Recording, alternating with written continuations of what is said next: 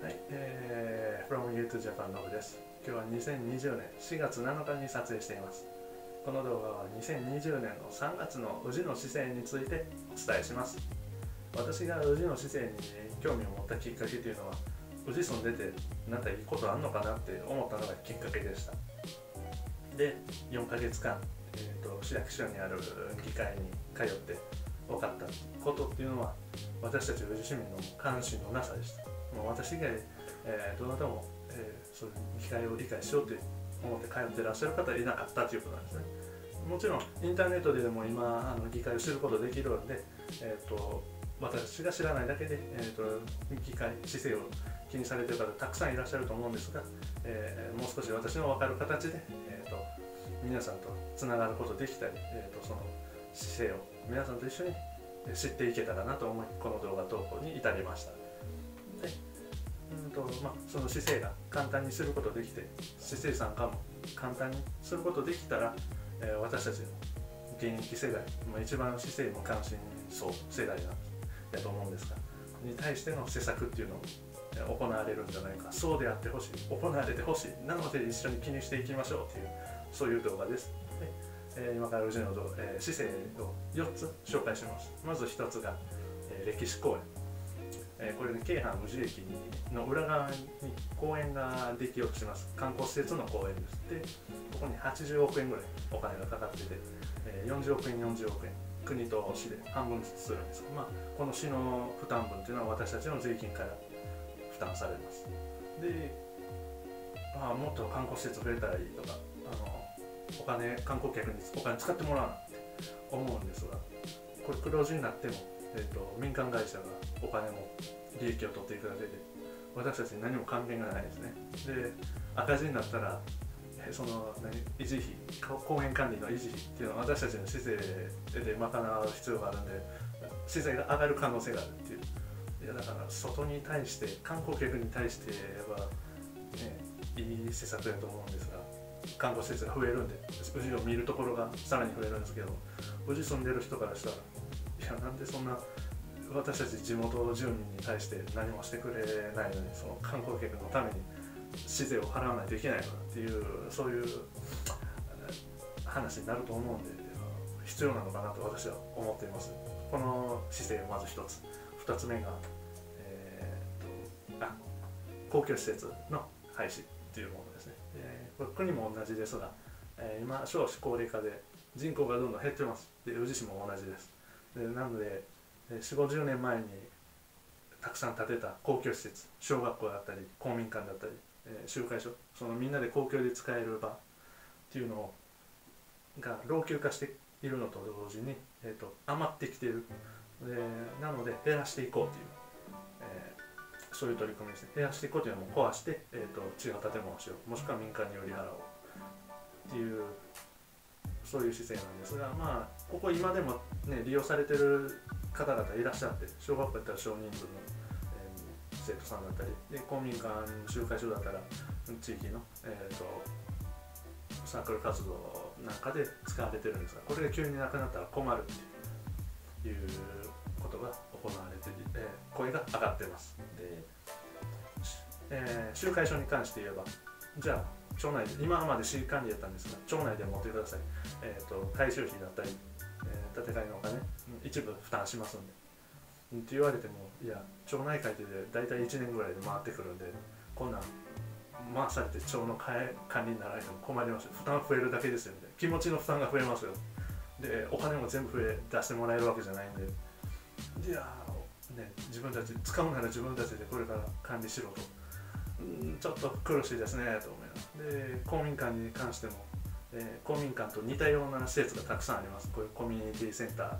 ていうようなものなんですがこちらコミュニティセンター有料なんですが公民館無料で、えーと、この無料をなくそうと、えー、公民館名前変えて公民館の教育法形態は古いからもう今新しい障害学習の時代だっていうことで、えー、名前を変えましょうって名前を変えたところから始まるっていうのはえーと、こう有料化、それを目論んで名前を外そうということが行われてるんですがで市民の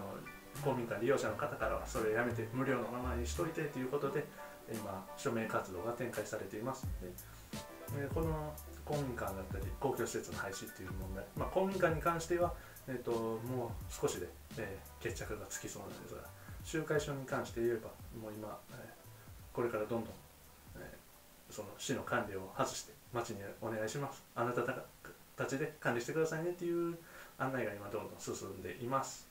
まあ、もちろんね人口減ってて、えーと、老朽化してるから、うん、その建物少なくなっていくのも分からんでもないんですが、えーと、そこを使われてる方からしたらやっぱり残してほしいなっていうこともあるんでじゃあ市が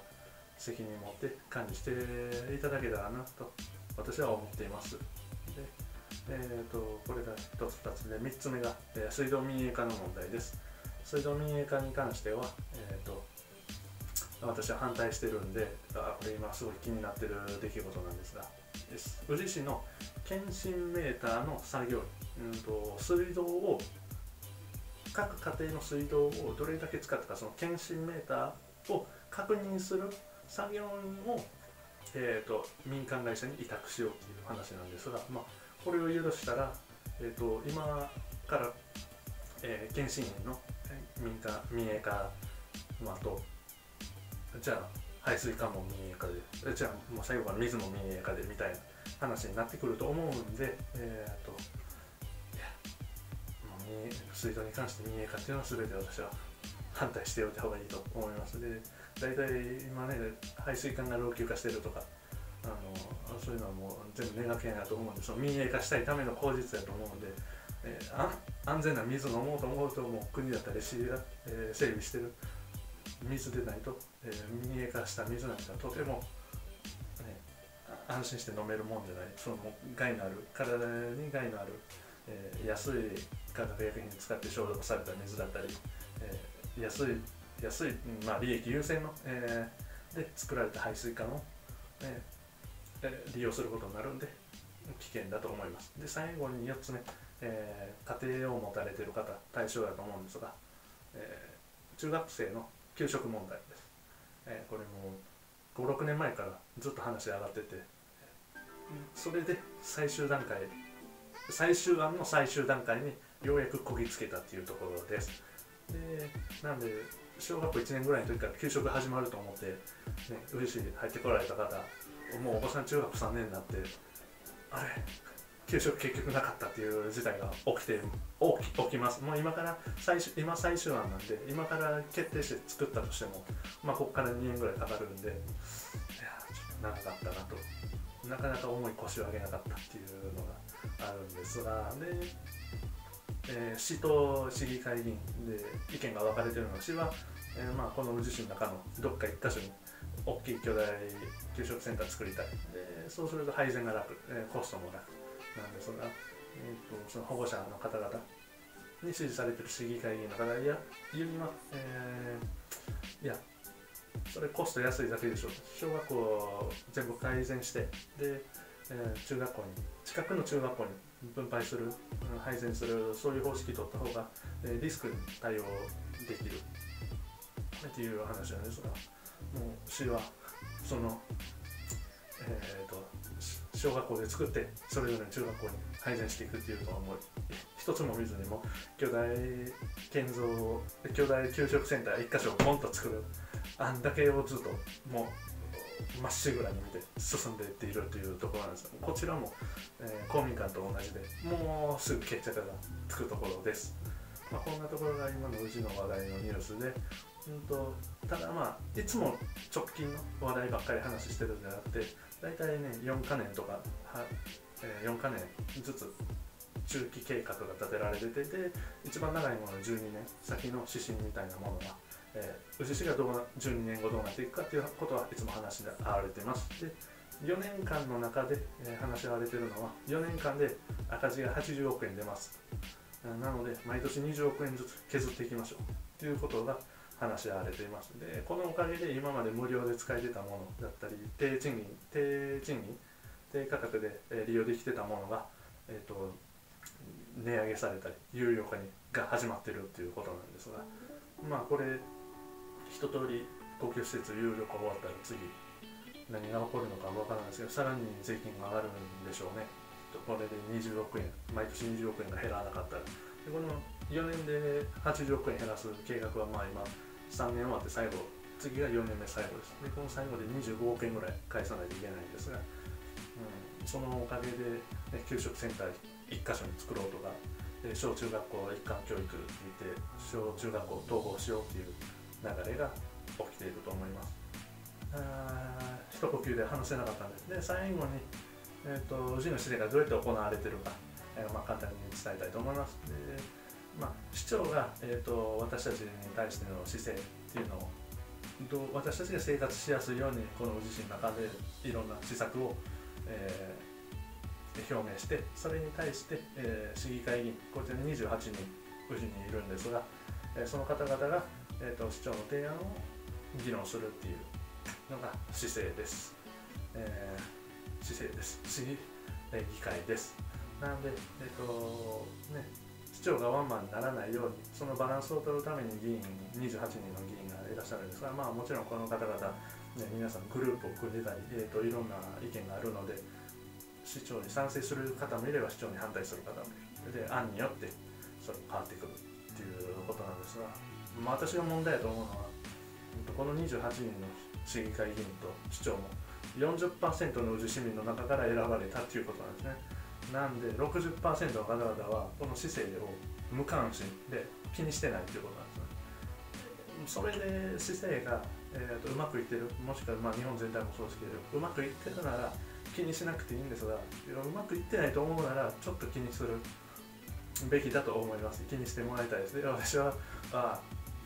うまくいってない、えーと、となんでこんなに生きづらいにあろうという。率直に思うんでなんか取られるもんばっかり税金取られてばっかりで楽しみ全然ない我慢してくださいって言われてる。でいやちょっと気にしてみよう。でちょっと気にして変えられるなら変えてみよう意見してみようっていう、えー、位置にいます。でもし皆さんの中で、えー、姿勢気にしたいだったりもうちょっといい施策お願いしたい、えー、もしくは、えー、姿勢気にしてる方でこんな有力な方がいるっていう私が知らないだけでいるっていうんでしたらもう教えていただけたらなと思います。はい、えー、ご視聴ありがとうございました。今日は2020年3月の宇治市政についてお伝えしました。